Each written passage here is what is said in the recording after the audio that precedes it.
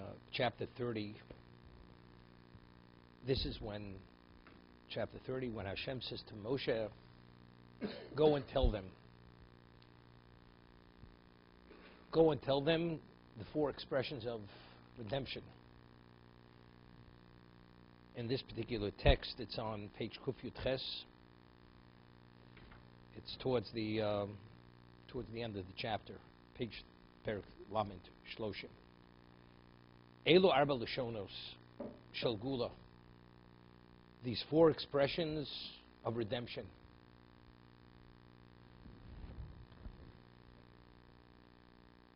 What are the four expressions of redemption? Votsesi, I will take them out. Vitzalti, I will save them. I will extricate them. Vitzalti eschem me'avodosam. I will extricate you from their work. Ugo'alti eschem, I will redeem you. And I will take you to be my people. It's interesting, you know, the Amida is divided in three parts. The first section, first three brachos are referred to as ovos. We speak about Elokei Avrom, the patriarchs. The middle blessings are requests. And the closing blessings are giving thanks. So the thanks blessing begins. Modim anachnu loch. Shatu Hashem Elokeinu. We give thanks to you that you are our God. Tzur Chayenu, Mogen Yeshenu, you're the rock of our life, you're the protector, you're the shield. And then we speak about the miracles that he performs on our behalf and the goodness that he does for us. But what's the first and foremost? The first thanks. We thank you that you are our God. We have, do you know what it means? God, the creator, the infinite being, he took us to be his people.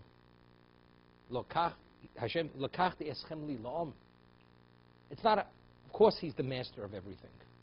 Of course all humanity, everything are his subjects, are his creation. But you'll be my people. God took us, we should be exclusively His. And we have this special relationship. This is You understand? Understand what Moshe is telling them.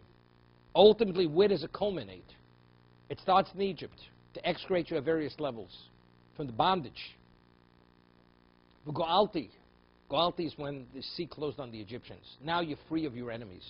You don't have to worry about them any longer. When they were cast on the shore, on the seashore, you saw their remains. Now we go to Sinai. What's Sinai? This is the ultimate. This is something which is unheard of.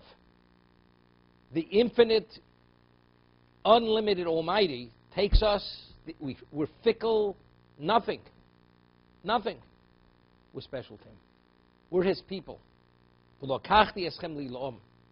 is what it is. You know, it's something not, not, not to be imagined. It's like Lahavdil Elif Abdolos. The greatest head of a corporation takes you to be his private advisor. Unlimited benefits, financial perks, whatever it is. No worry, care, and he has the ability to take care of every conceivable need that you ever have. And any request. On, this is on a moral level. The person couldn't stop singing God's praises. So if God himself says, I will be that, how much more do we have to sing his praises? How ecstatic do we have to be? And he gives us the means. How do we become his people? He gave us his Torah. You be my people, and therefore, how do we interact? How do we have relevance to one another? How do we spiritualize ourselves?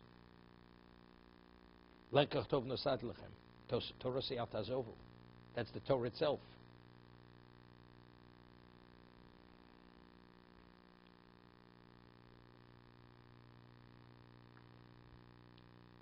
Ucheneged Eila Arba Lashonos. Tignu Razal Dalit Kosos.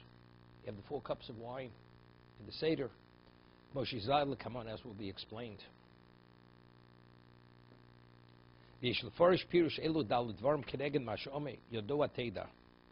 What was the original? Why did we originally go to Egypt?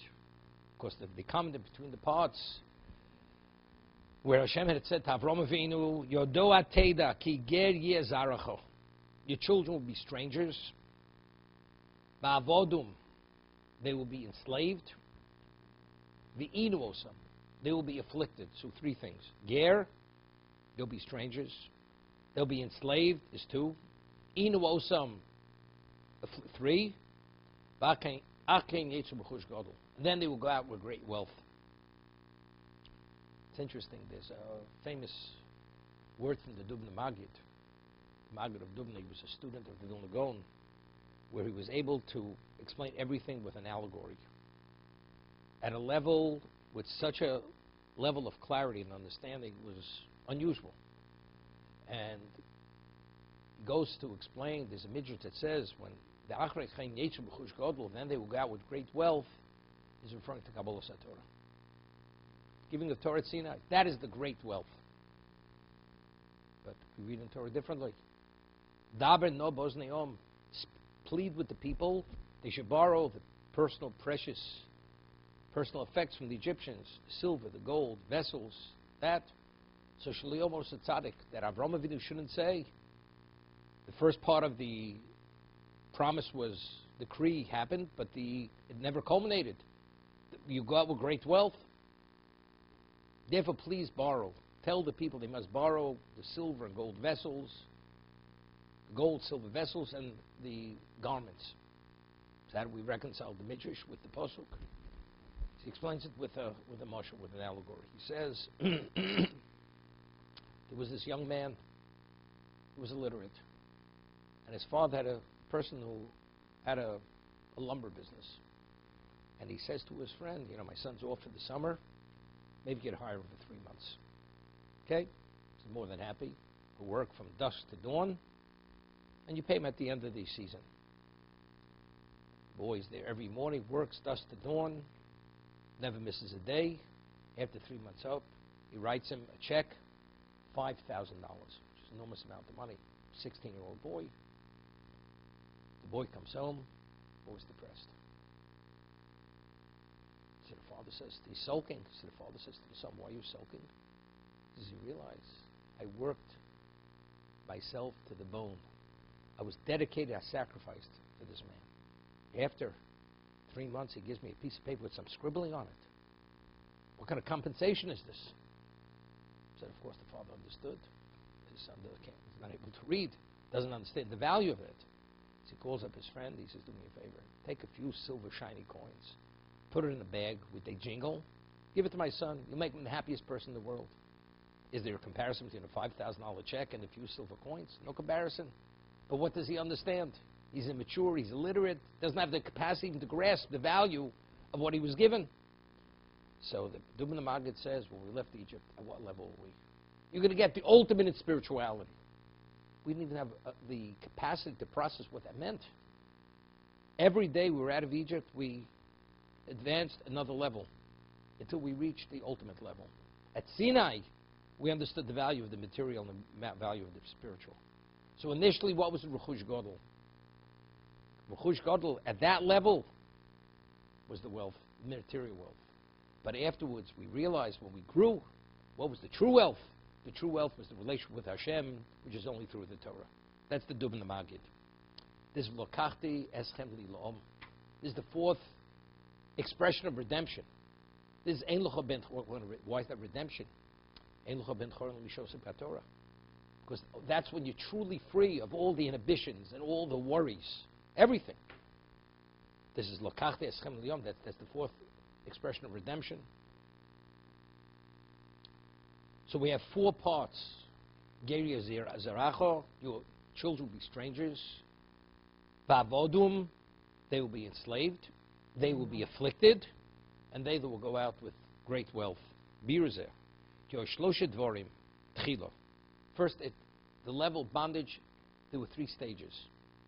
Gerus, we were strangers. Avagav she'enu meshubed.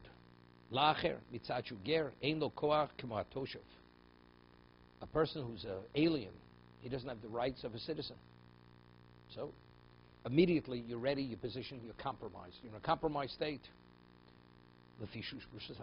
At, at what? At your goodwill, I'm here. but I have no independent rights. What was the next stage? Then it was bondage. They enslaved us. Like slave what? A slave. We became slaves. And then it went from bad to worse. Then intensified. We had affliction. We were afflicted through the slavery. Meaning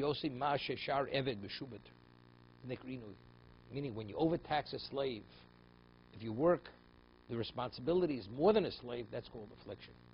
That's called abuse. Can't abuse, but they abused us. As it says, avodas perech.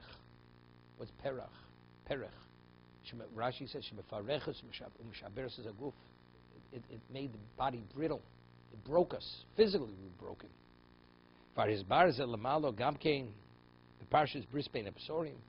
So we have first the three stages of bondage leading. Ger, Abdus, Avodum, Inu. Kashabol legal osam. So when he comes to redeem us, so we peel away the layers. We go take we we pull it back. So where do you start from? Inui. We take away the the affliction. Then you have bondage. You take away the uh, the slavery that you're working, and then we stop the work. But still, you're still aliens in the land. You're still there. You're you're in, on foreign soil. Started from the bad to better. From worse to better. So first, the affliction ceased. But we still had chores. Then there were no longer chores. But we were still ger. We were strangers in the land.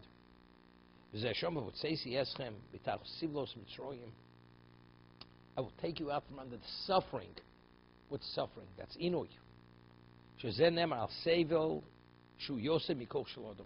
That's the work which is beyond human capacity. That I will, that will cease to be. You can be extricated from their work. That means even regular servitude you're not going to have any longer. No worse than a regular slave. You'll be extricated from their work. You're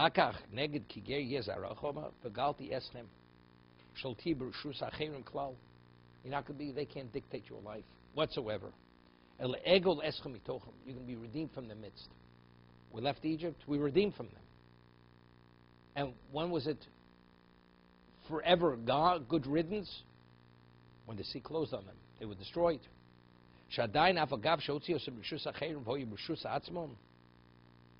Even though you were independent, you no longer had masters. But so where are you today? You're nowhere. You're nowhere in your lives. You're ex-slaves. Without that master, you're no longer afflicted. But what's your intrinsic value?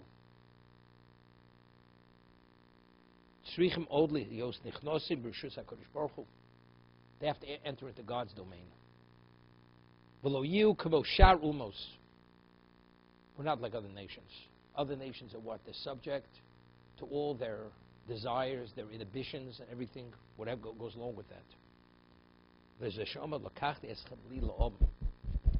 Different. There's going to be a special relationship. There's going to be a cleaving and attachment. There's going to be a spiritualization. All other nations, they're physical people. Due to this relationship, it's like you take something and you put it into an energy source. It begins glowing. You become animated. It's a different function. You ascend to another level. So that's the four. The four correspond, the four expressions of Gula respond, correspond to the Ger Yezer Zaracho, the four levels. Volpirish, another understanding.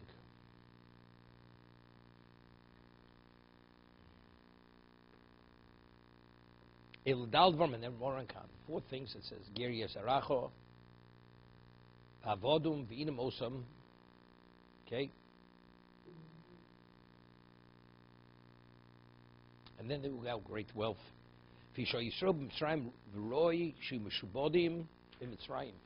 Said earlier, why was Egypt the location of bondage? He said because they were the, a nation that was totally devoid of spirituality.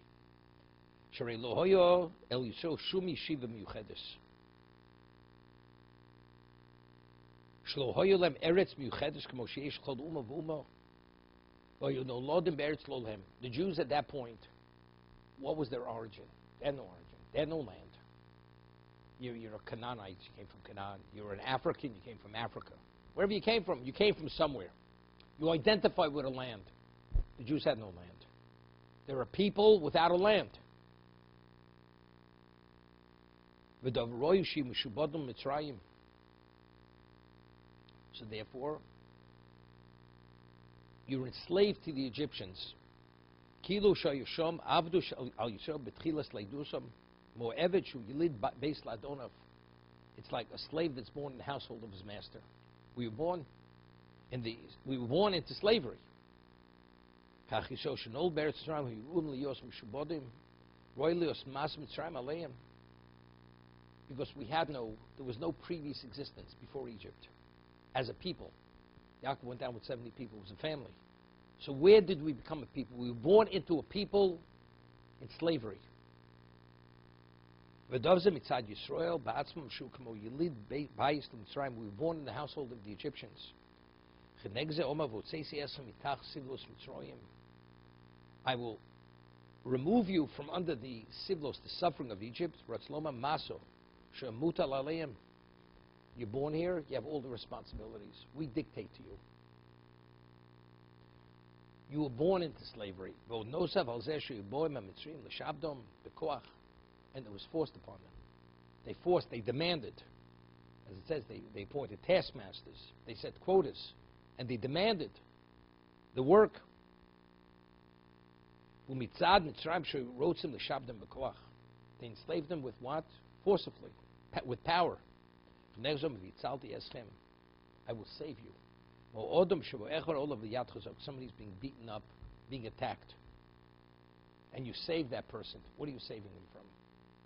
From the clutches of, that, of the attacker. He's being victimized. Vitzaldi eshem. I will save you. Biyad Chazokah. With that powerful hand. Ubo Achav Yitzilu Mimeno. Kloma Atzil Eschem Itachas Yad Mitzrayim. I will save you from the hand. Ugalti eshem Rosloma. Afal Gav Shlo Yehoyu B'Shubodim.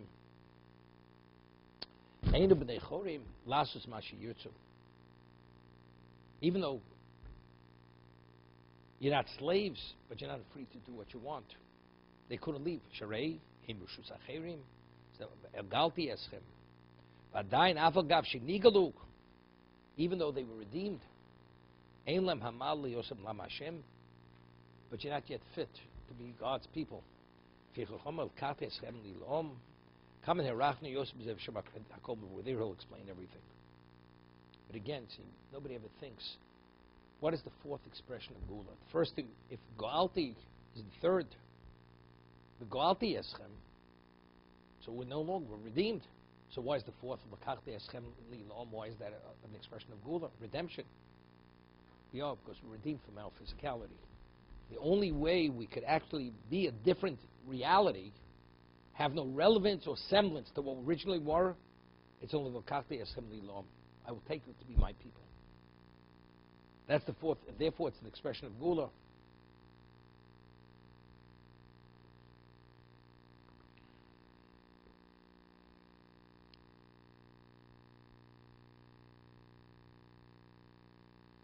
Elu Rosh. These are the heads of the families, the pedigree of the tribes. So Rashi says it starts with Ruvain. What do we have to speak about the pedigree of Ruvain, Shimon, and Levi? Because ultimately we want to arrive to speak about Moshe and Aaron, to speak about their pedigree. Well, they came from special parents, parentage. Amram, Yocheved, special. Kohos was his grandfather. It's famous is uh, interesting. Um, Seforno, the says we find that the only tribe that did not succumb to the Chet Egel was Levi. Why? So he says because Levi was the last of the brothers to pass away. So therefore, he had to do. He lived the longest, so he raised even his grandchildren or great grandchildren. So he had the greatest influence on them. The others, because the others, their grandparents passed away earlier, so they had less influence. So they were affected to a greater degree from the culture, the Egyptian culture. But Levi, because he lived longer, he watched over his grandchildren. Therefore, because of that extra tutelage and infusion of, of, of, of influence, that's why his children, his grandchildren, and the tribe did not succumb to idolatry. That's a Sephardim. But why do we begin tracing the pedigree of Moshe and Aaron? We start with Ruvain. Hischel esapi yichusa mi Ruvain. Klom shiyotzu mishevet Levi. Shlishi lishvotim. How do we know Levi's the third? You say if there's one and two, Levi's the thir- third. See, Rashi just cites the measures. Why do we start with Ruvain? We're starting with Ruvain because we want to arrive at Moshe Aaron and Levi. But Moshe Aaron is, is the focus. So let's discuss it. Why can't we just start right away? Let's talk about Moshe and Aaron. Levi, Kos, Amram, Moshe Aaron. Why do we have to start two tribes before? I mentioned who their families were. So he says because we want to emphasize the third. Being the third is something special. Third, why? Levi. They were descended from the tribe of Levi, which is the third of the tribes, the third one of the sons. Vashlishi tomid yosef muchan. The third always has a greater capacity to achieve perfection. Bavurshu misper sholim goes to explain, because that's a more complete number. Why is it more complete? One is one. So we speak about abundance. One has no relevance to abundance. Nikra mispar.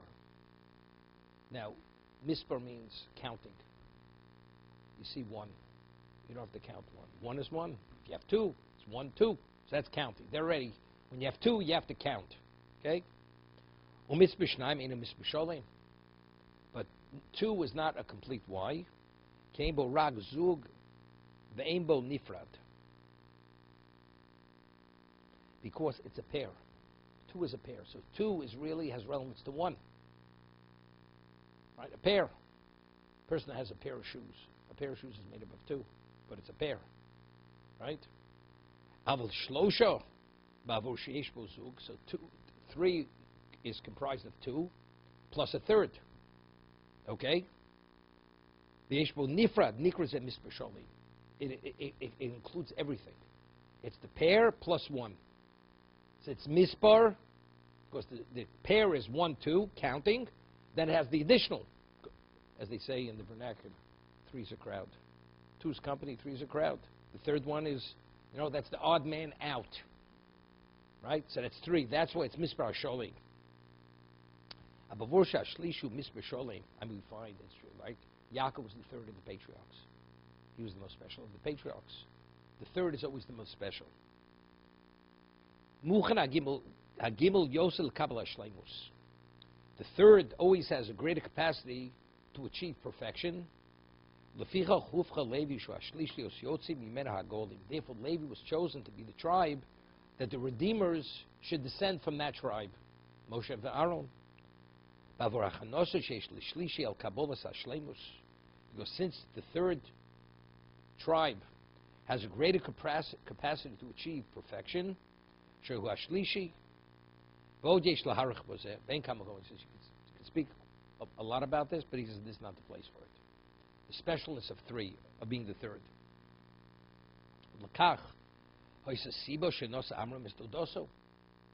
Now, Amram married normally before Sinai for a, for a, for a Noahite, a Ben a nephew is permitted to marry an aunt. It's not considered incestuous.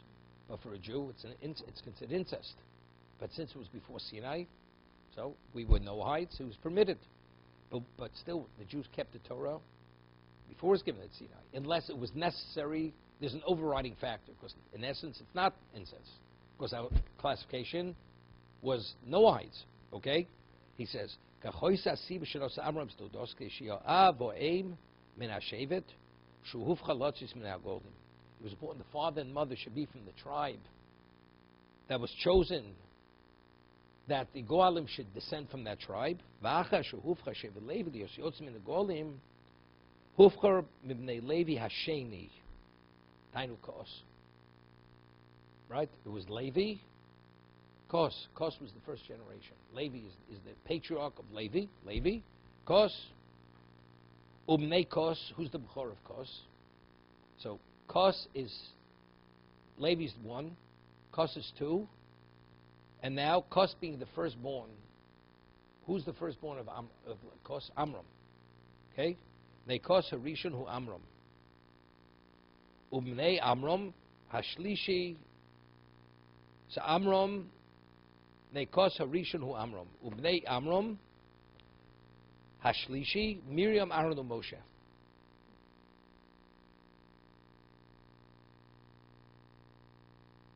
Yeah, who's the last? Is Moshe, Aaron. Ah, Moshe, Moshe's number three.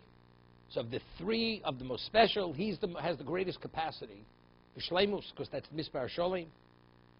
Yishbachon el kabos Hashem mitzad, she's a Mispar, who Mispar Sholim. כאשר לא היו כאן שום הכונה, הצורך מספר שולים כדי שיגיע השלמוס. You can take something with various levels of preparation to bring it to a more complete state. But Moshe was complete when he was born. Because, he, because it, there was no preparation to bring that about, therefore he's three. Kabbalah Satorah was when? Third month, right? Nisan, Iyar, Sivan. It's the Sivan. It's again, it's the third month. Everything is three. Shvar nolad levi shemuchan lios imenu. He's the third. He's the most perfect because he's the third son. The Golem are meant to come from him. Oz ein tzorch achona gemura misper sholim legamri. Avlo yachon oso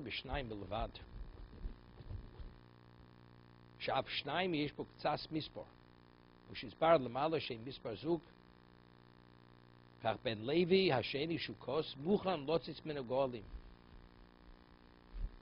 So Levi is number three, and the, what's the mispar?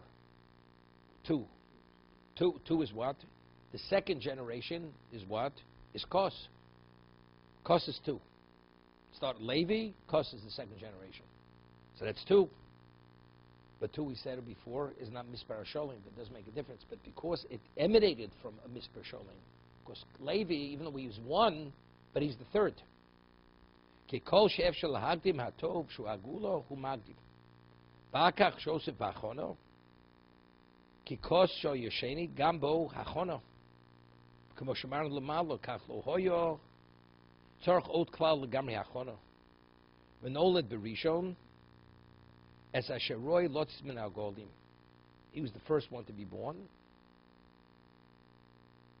Va'amrom Hoya Rishon. Kasher Nodu Agoldim Ba'atzmam. Now, so the Goldim were born from the first, from the Bechor. Amram was a Bechor. That's the reason why, that's what Korach said. Why did they take two positions? Moshe, the leader, Aaron, the Kohen Gadol, because his father was a Bechor. Bechor takes two portions. He Korach claimed I should get the third appointmentship. So why did they skip over me to choose Elditzov Menuzil to be the head of the Shavit? Evidently, it's not so simple. It's based on qualification. Qualific- I'm more qualified than Moshe Rabbeinu. Definitely more than Aaron.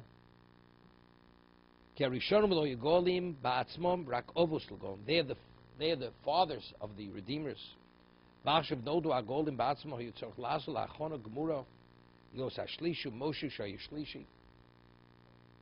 Kach Sofer told us Hashvotim Zachaz Ad Levi. Therefore, we speak. We have to point out. We could speak with, about Moshe, but no. But the Torah starts the line of pedigree from the beginning. So how do we focus on the third, Levi being the third, and Moshe being the third? You have to see the full picture. Kloma Shenolat Shlishi Ozroi Lhotzi Goalim. Besiper Hishtalshlus Hagolim. The Torah is giving us the how it how it's evolving, the involvement of the redeemers. Maod.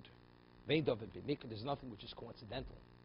Coincidentally, Levi was the third. Amram was the Bechor. He had three children, and Moshe happened to be the third. There's no coincidences.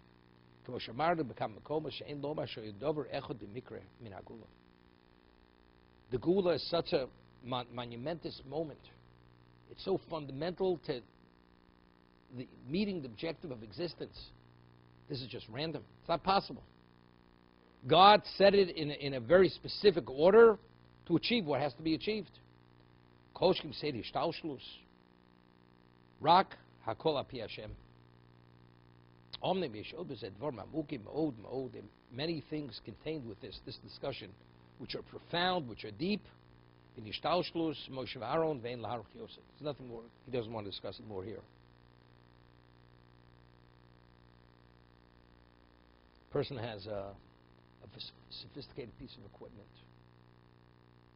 that they use in an operating room, sophisticated beyond, and it costs endless amounts of money and the level of technology. How did this all come about?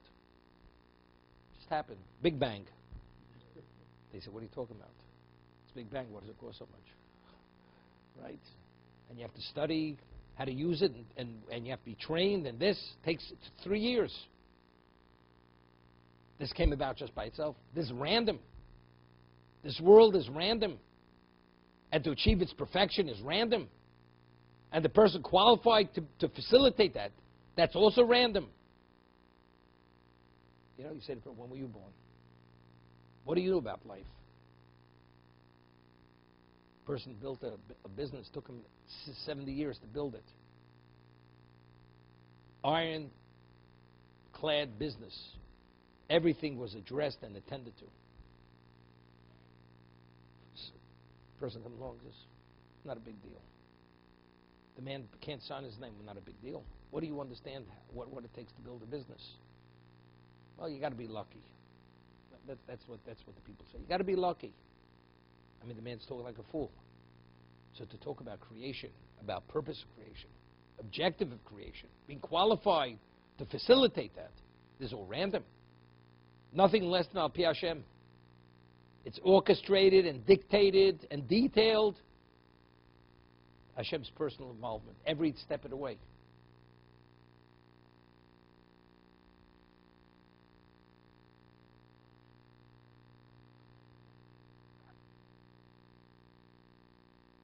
We just get back to this. Can't. Person believes in God, believes God created the world, everything under the sun. Rabbi, but why do I have to keep kosher? I can't understand it. Does it really make a difference whether you understand it or not? We're talking about God said. Do you agree God said? You don't need more than that. Why did God create volcanoes? Why are there earthquakes? Why is there this? Did God consult with you? Just your reality of life. God says as a Jew, your reality is you have to keep kosher. What's kosher? What he dictates is kosher. Why? It's irrelevant why, but that's what you have to do. It doesn't make sense to me. It's irrelevant what it makes sense to you. You're irrelevant.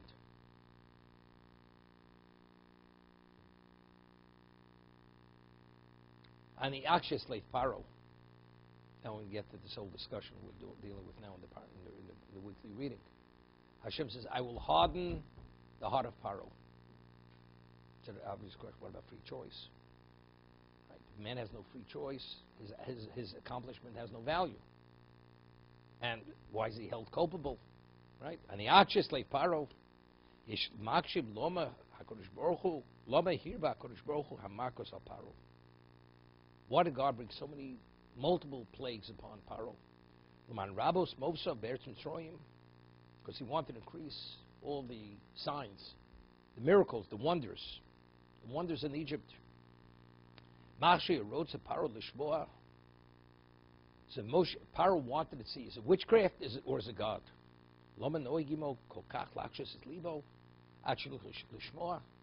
God says, Vance, I'm going to create a blockage that he will not see.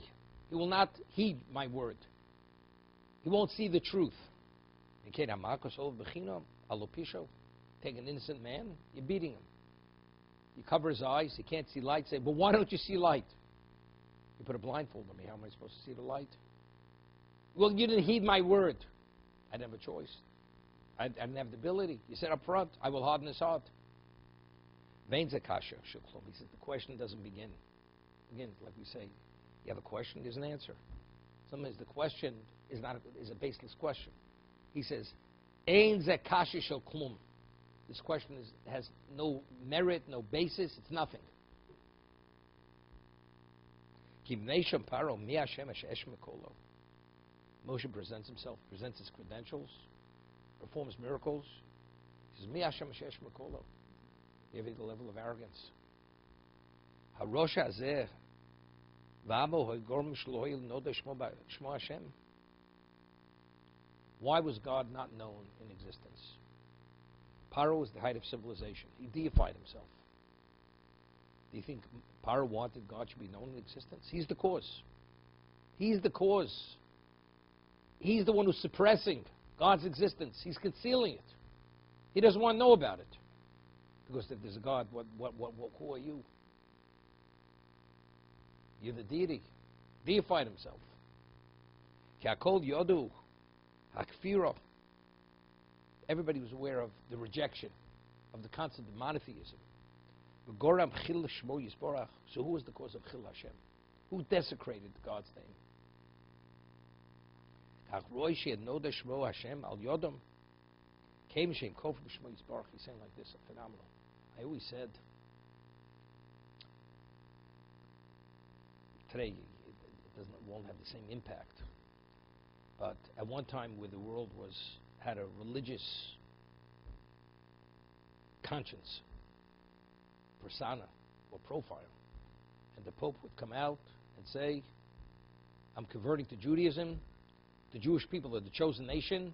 All that we've ever done was we were worshiping falsehood, and we have to repent for all the pain and suffering brought upon Jewish people." and so on, and we have to serve the Jew because they're the chosen people. Could you imagine the Pope saying this publicly, internationally broadcasting this? You know what, you know what So the one who was Mechal Hashem, the one who says you can't be the chosen people, he says, no, you are. Egypt, who were the, the height of civilization, the height of paganism, the man who's a deed himself, he goes, he's going to admit that God is the master. You who denied, you'll be the, be the one to admit it. You said, Through you, God's going to become a known entity in, in the world. You know, in the vernacular, you say, you know, you can eat those words. Okay? But it's more than eating your words. I always said, even though it's, it's interesting, we find that Yisro is always referred to as Kohen Mijan. So what does the word Kohen mean? Literal Kohen usually, usually means priest. But Rashi explains that the word Kohen could also mean sheik. Sheik is, is a Kohen. Doesn't have to mean a religious figure. But if you learn it means, because as according to Chazal, why was his daughters driven away from the, when they were watering the sheep? Why? Because their father was excommunicated because he rejected idolatry. Because he worshipped every deity in the world, and his conclusion was it's all false. Monothe the truth is only monotheism. See, he was actually he was excommunicated. So therefore, the shepherds they drove his daughters away. He's always referred to as Kohen Mijan. So if Kohen means the priest, so I always ask the question: a person says that a convert, you shouldn't say anything which is pejorative about a non-Jew in his presence for gen- ten generations, because there's a certain sensitivity to that, and it can be painful. You touch a so, certain raw nerve. It takes about 10 generations for it to totally fade out.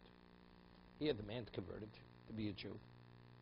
And we don't let the man to forget. Kohen Mijan, Kohen Mijan, Kohen Mijan. There's a Torah violation. It's called Onaz Dvorim. You can't say anything that aggrieves a person. You're aggrieving him. But he's continually called Kohen Mijan. You know what? But this is the Kiddush Hashem. That's a feather in his cap even though he's the Kohen Mijan, but what, what, what does he proclaim? It's not Mr. Nobody proclaims unity of God and the omnipotence of Hashem. It's the Kohen Mijan who says it. Despite being the Kohen Mijan, what does he believe? So therefore he's saying the same thing. Who's going to proclaim God's unity and Achdus Hashem in, in the world? The one who denied it. The one who didn't allow it to be.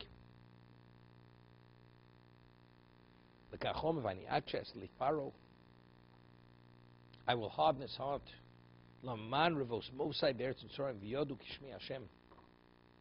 And they will know my meaning through them, whether they admit it or not. But that will be the location where the world looking at the location will know Ani Hashem. these are revealed miracles. Tachas Hashem Hashem chayev paro lesakin mashakilko kvar. Paro has to correct, rectify the damage that he brought upon existence. He was responsible that God was an unknown entity in existence. Achal yodu yenoda shmo yisborach lekach hiksho libo shlo yishman lemanyovi olav Hashem makus.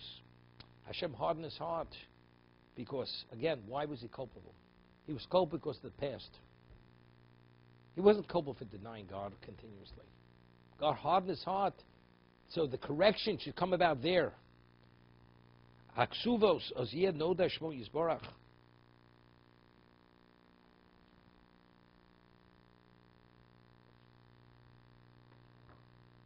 He would say, you say the first five makos, he had the, it says he hardened his own heart. It's only the last five. It says Hashem hardened his heart.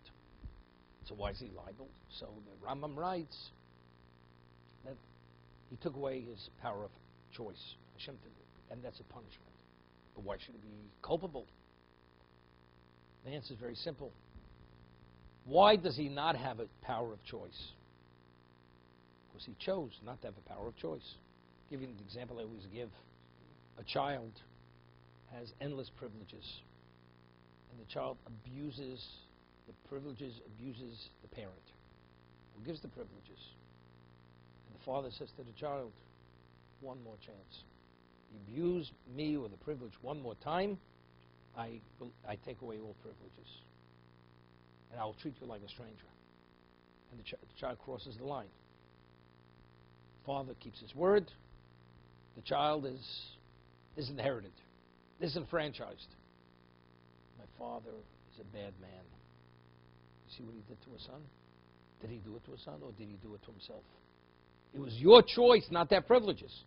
Because you were forewarned, you crossed the line one more time, you forfeit the privileges. So why does he not have privileges? Because you chose to forfeit it, to cross the line. Paro, five times, five of the miracles, he had the ability to see it right. His arrogance, his insolence, his self-centeredness. He chose, I will turn my back on God. And he acted arrogantly. Hashem says, okay, now you're going to pay the price. So now that he has no choice, but why doesn't he have choice? Because you abused it. You abused the privilege of free choice. You abuse it enough, Hashem says, but now when you do the wrong thing, when you have no, no, no, no ability, you're held culpable. Because then why now don't you have, have the ability? Because you chose not to have the ability.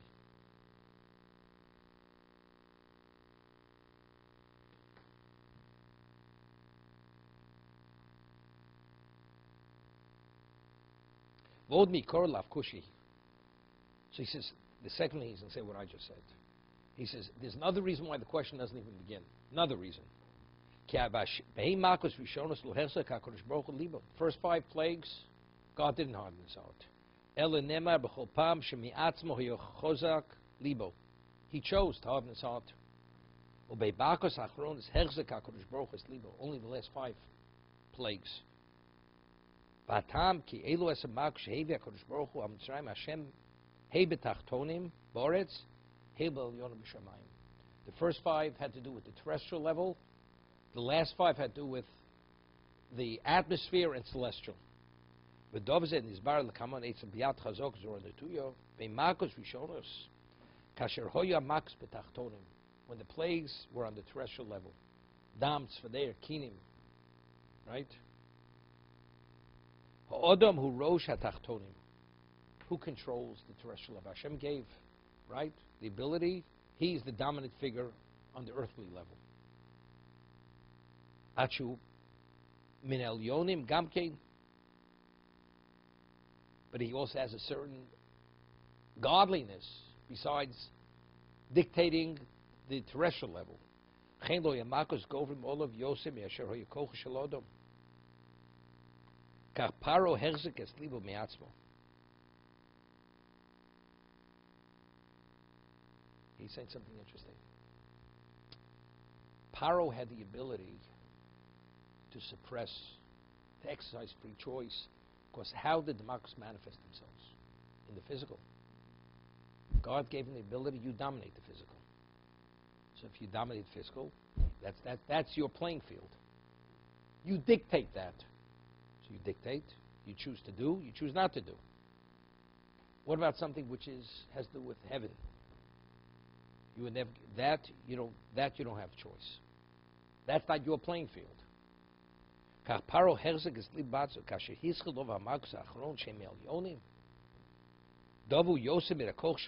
Anything which come, which is outside of the realm of the material, the physical, Lo b'shvil shu chose b'tshuva. He would have sent us out not because he's truly doing tshuva. He recognizes his wrong. Rakshamakos, kokach, koshos, olov, because they're overwhelming. So if he would have sent, sent us out, what would have been the value? It would have been an indication he repented. He didn't repent. It's beyond. Uh, it's like you take a person and you torture him, and he says yes. That's from his own volition. He's saying yes. The pain is so all-consuming. He has no choice but to say yes. He'd say yes in his sleep. HaKadosh Baruch Hu wrote Masav Al Yidei Makos. So that means God is forcing you. If God would bring those plagues and he doesn't take away power of choice, what is he doing? He's forcing you to do something. HaKadosh Baruch Hu Herzeg Neged Zer HaMakos Bo Solov Lahachriach Sheishlach Yisrael. It's to force you to send out the Jews כנגד זה החזיק את ליבו להכריח אוסו שלא ישלח, ומכריח אוסו לצד אחר. Here, because it was beyond his power, send him out, he would have been forced to send him out because it's beyond his, his capacity. So Hashem has to intervene to give him the strength not to succumb to something that's beyond his power.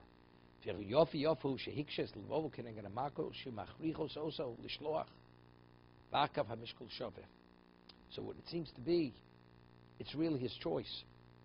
This is similar to one of the explanations of the Ramban and the Seforno. He couldn't have dealt beyond the fifth marker differently than he's saying. Hashem didn't want him to send him out because he's succumbing. He's strengthening him to put things back in balance. Anything comes from above is beyond your capacity. So, but you understand, but you, you know, you're not really sending him out. God is sending him out. So God is hardening his heart to put things back in the balance. But why aren't you sending them out now? Because now this is, you're not sending them out. It's not because God took away your free choice. If he wouldn't have hardened his heart, he would have he would have been overwhelmed. He would have had to send them out. But that's not you sending them out. So again, God gives you the inner strength to stand up to it. So now you're in a balance. Now why aren't you sending them out? Because I'm choo- choosing not to send them out.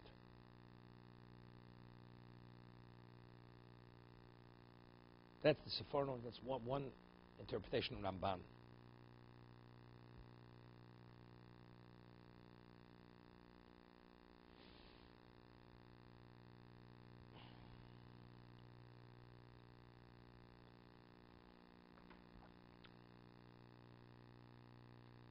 Omnam Mishmos Rab Parshas Bo, he says the Midrash, Kanich Bari says Libo. This week's Parsha. Hashem says I, to Moshe, I've hardened his heart. This is before Arbe, right? Before the locust.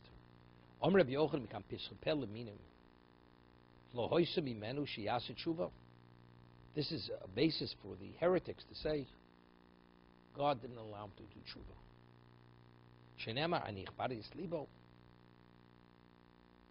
They have a basis to say God doesn't treat people fairly. The heretics, see, see the way God treats people. He doesn't allow them to do tshuva, then he punishes them.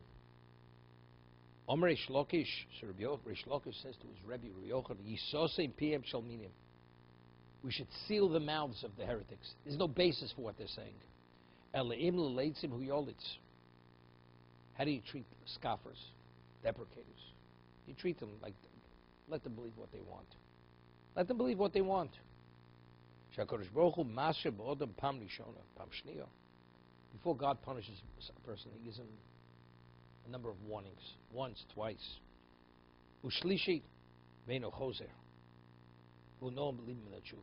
You know, God can only forewarn you warn you so many times. You know, once, twice, three times, then you pull the trigger. But before you pull the trigger, why don't you tell me you're pulling the trigger? I, I told you I was going to pull it. If you don't behave yourself. So when he took away the free choice, this is the Rambam, real, it's Medrash. It's. The reason why he had no choice is because he sinned. That's why he forfeited the, his choice because he was you were warned sufficiently. Af kamparu osher came. He he sent him five revealed miracles, and he didn't pay attention. Paro. You acted stiff with a stiff neck against me. Now to Jose and you're not willing to change. Hareini Mosef loch tumor al tumosach. I'm going to add. I'm going to put you in a position that you're not going to have a choice. You're going to be addicted to it. Have a omikeri, libos leva. To be continued.